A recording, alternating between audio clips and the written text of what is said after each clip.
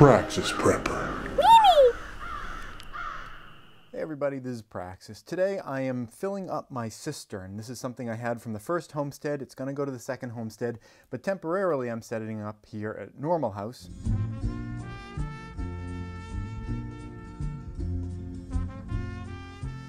So that we can have access to water and things like that during a blackout or something like that, like that happens. The neighbors in the area have suggested that blackouts are something that happen fairly frequently on this road. It's pretty remote and there's not that many people on the street, so we're kind of the last to get repaired. So I want to be able to have access to water if the power goes out. That's one of the more important things I think to have access to, you know, in addition to the idea of just being able to drink the water, it also makes it easier to just keep yourself clean, hygienic. You don't get like a rash from not being able to bathe or anything.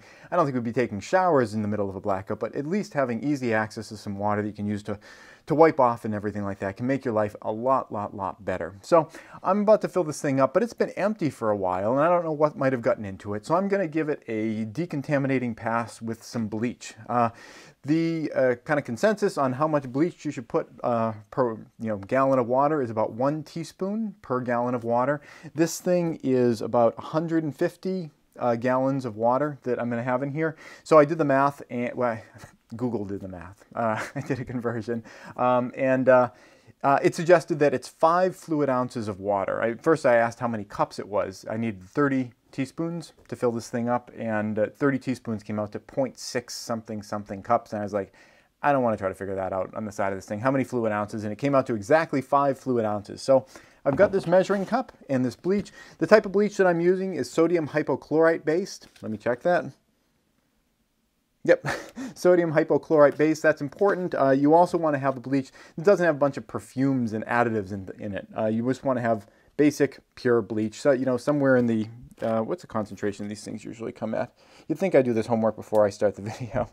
Um, they're usually about like, was it 0.8 or something like that? Doesn't say on here.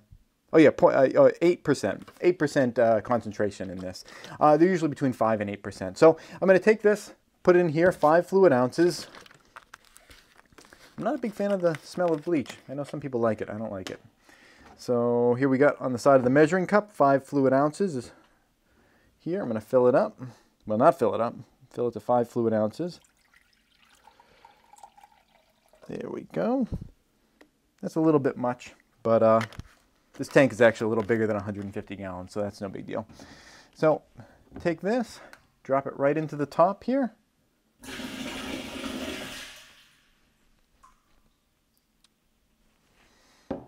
And that's it. Now I'm going to finish filling this thing up. That'll agitate it around, uh, swirl it all around. Now the, uh, whew, I don't like the smell of bleach. now the water that's going to be coming, oh, it smells like a pool in here. You know, like a public pool. We all know that smell. Anyway, uh, the, uh, the water that's going to be coming out of here is going to have that smell. So I'm not going to be using this water, you know, for drinking or cooking for a little bit because it's going to have that kind of really strong chlorine kind of smell. So I've, I've, planned, I've got a load of laundry ready to go. That'll use up a bunch of this, uh, you know, you know, showering, things like that, uh, you know, run through this water.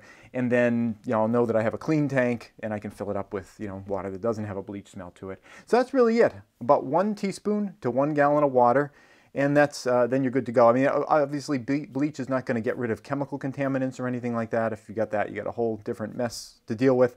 But in terms of biological life, that's the, the rough uh, uh, ratio. One teaspoon to one gallon. Remember, teaspoon, not tablespoon. Teaspoons are the small ones.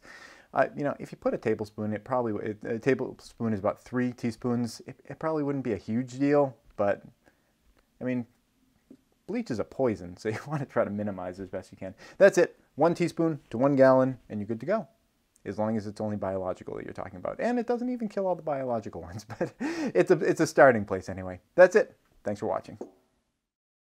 Please subscribe and tune in every Friday at 4.30 New York time for a new video. And if you'd like to support this channel, you can do so both through Patreon or PayPal.